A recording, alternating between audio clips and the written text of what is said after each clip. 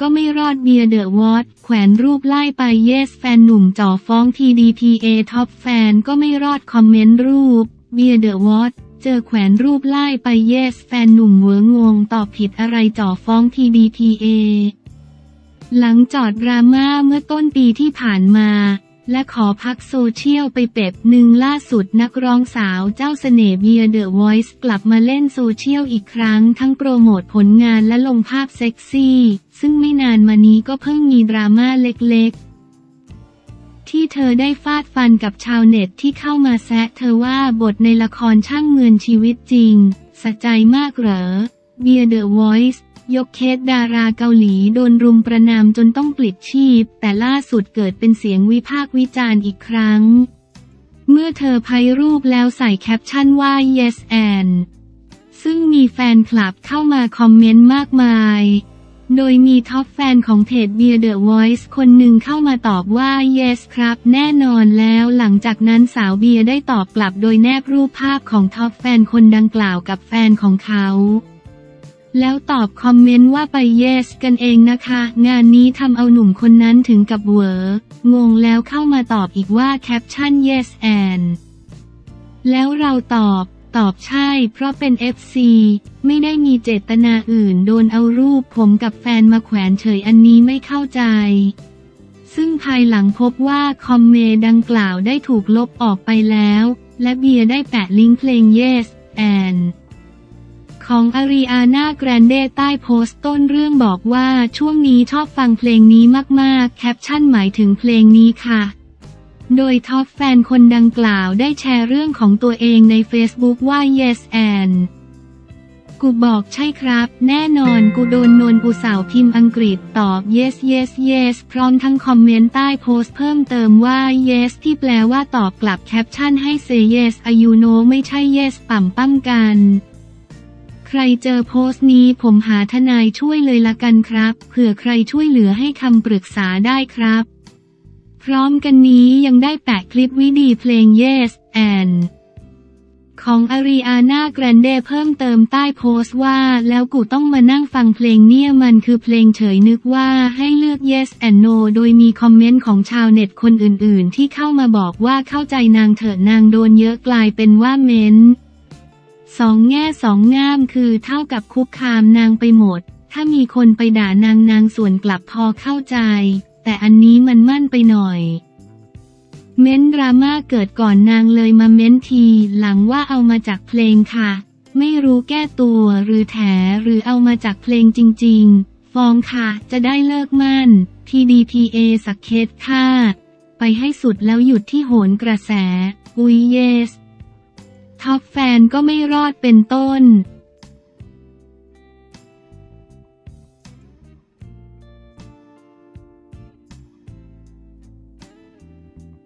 คณะจัดงานแจงกรณีลูกทุ่งดังร้องปมค่าตอบแทนคอนเสิร์ต 84 ปีลูกทุ่งไทย ได้เงินน้อย คณะจัดงานชี้แจงกรณีลูกทุ่งดังร้องปมได้รับค่าตอบแทนคอนเสิร์ต 84 ปีลูกทุ่งไทยได้เงินน้อย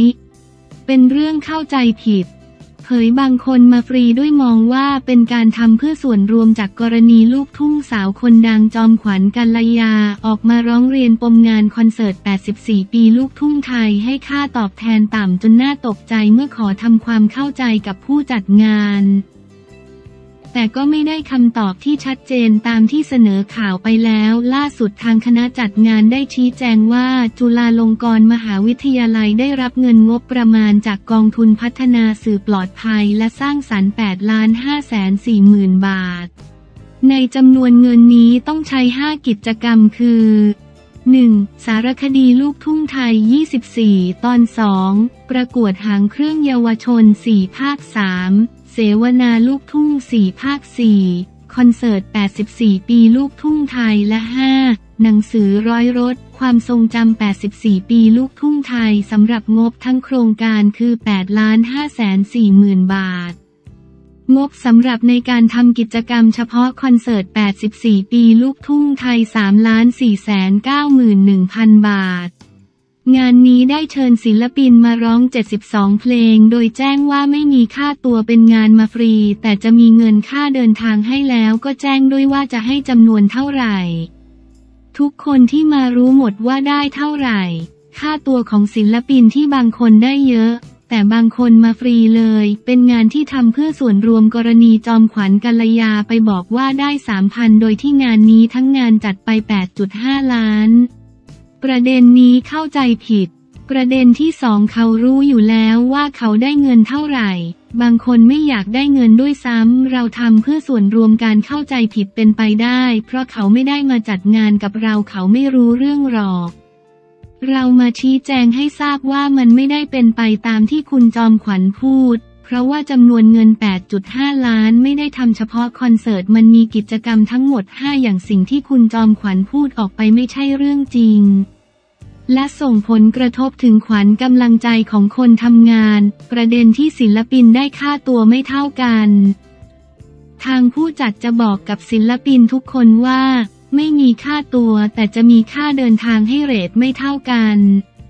บางคนเรียกสูงสองแสนบาท แต่งานไม่มีให้เขาก็ไม่มาบางคนมาฟรีด้วย เรามองว่าเป็นการทำเพื่อส่วนรวม งานฟรีการกุศล คนที่มาดูเป็นฟรีคอนเสิร์ตไม่เสียตังค์มันไม่ได้เป็นการจัดคอนเสิร์ตเก็บเงินเพื่อหารายได้ ไม่ใช่เลย เป็นฟรีคอนเสิร์ตจัดเพื่อคนลูกทุ่งให้มารวมกันให้ลูกทุ่งอยู่ในกระแสของวงการเพลงไทยต่อไป ศิลปินที่มา มาฟรีทั้งนั้นไม่มีใครได้ค่าตัวเลยให้เป็นค่าเดินทางที่ไม่เท่ากัน ประเด็นที่ว่าเป็นศิลปินมีชื่อเสียงหรือไม่มีชื่อเสียง คุณเอาอะไรตัดสินคุณค่าของมนุษย์เท่ากันแล้ว เขาไม่ได้บอกว่ามาแล้วจะให้ เขาบอกว่ามาแล้วให้แค่นี้เขาบอกราคาคุณแล้วด้วยตัว เขาก็รู้ถามว่ามีศิลปินมาร้อง 72 เพลงมีคนโวยกี่คนศิลปินที่มางานไม่มีใครได้คุ้มค่าตัวหรอก มีคนดังกว่าคุณจอมขวัญอีกที่มา อย่างพี่สุนารีราชสีมาอาจารย์เล็กพัทราวดีมาฟรีเลยมาเต้นเต็มที่แล้ว ก็กลับบางคนดังกว่ายังไม่สนใจเรื่องเงินเลย เขามาเพื่อสืบสารตำนานลูกทุ่งไทย มาช่วยกันทำให้เพลงลูกทุ่งมันยังอยู่ในกระแสของสังคมไทยต่อไป ประเด็นที่คุณจอมขวัญเข้าใจผิด เขาไม่ได้จ้างคุณไปร้องเพลงเขาเชิญคุณไปร้องเพลงไปสืบสารตำนานลูกทุ่งไทยกัน ไปทำเพื่อสังคมบางที ศิลปินก็ต้องทำเพื่อส่วนรวม เสียสละไปฟรีบ้างก็มี ส่วนเรื่องค่าเดินทางมันไม่คุ้มค่าตัวหรอก ศิลปินแต่ละคนดังทั้งนั้นคนไม่ดังก็ได้เหมือนกัน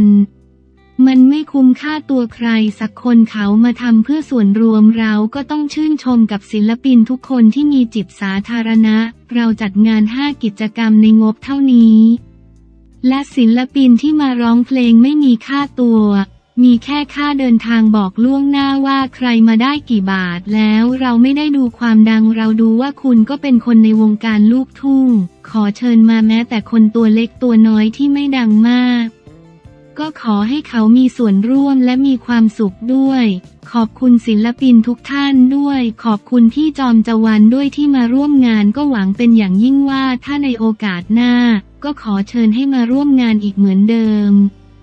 เรามีเจตนาที่จะสืบสารวัฒนธรรมเพลงลูกทุ่งให้มันอยู่คู่สังคมไทยตราบนานเท่านานทุกยุคทุกสมัย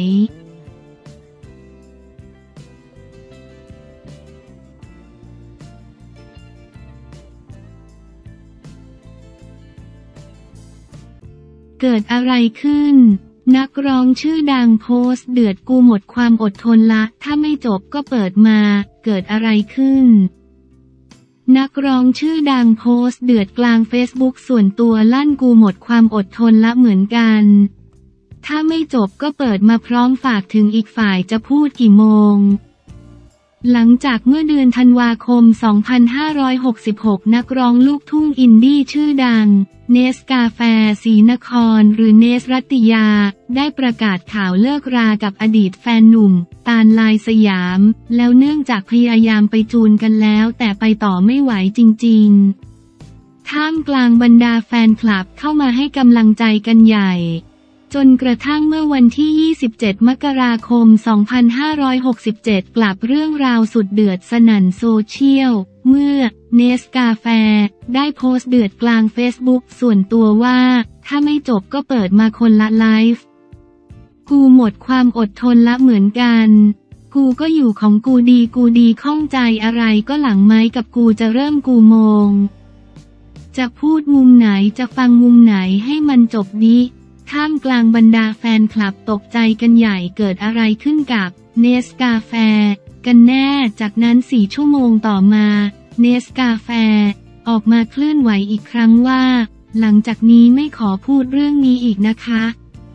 ต่างคนต่างใช้ชีวิต เพราะหนูได้พูดไปหมดแล้ว ในหลายๆ ส่วนหลายๆ สาเหตุที่หลายคนถกเถียงกัน